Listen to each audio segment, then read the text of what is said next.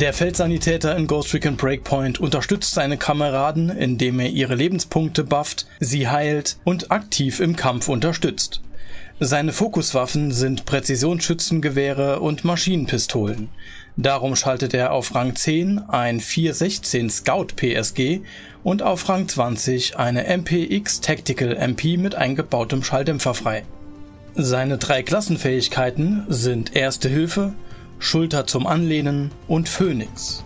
Erste Hilfe verleiht ihm initial ein 10% schnelleres Wiederbelebungstempo, das auf Rang 2 auf 15% schnelleres Wiederbelebungstempo erhöht wird.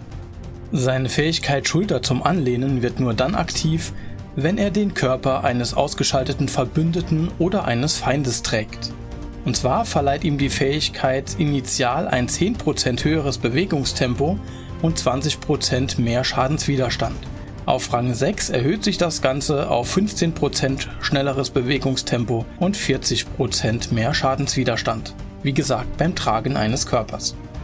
Die Klassenfähigkeit Phoenix verleiht ihm die Fähigkeit, sich selbst wiederzubeleben, sofern seine Klassentechnik voll aufgeladen ist.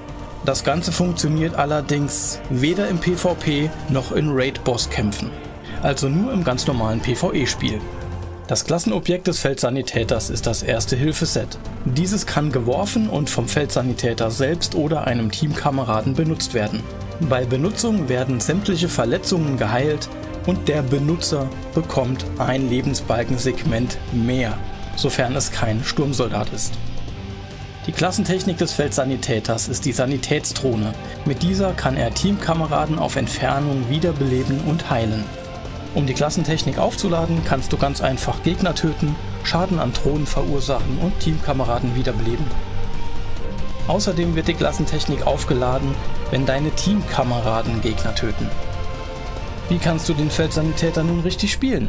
Ganz einfach, indem du deine Kameraden im Kampf unterstützt, indem du sie heilst, ihre Lebenspunkte buffst und sie aktiv mit deinen Waffen im Kampf unterstützt.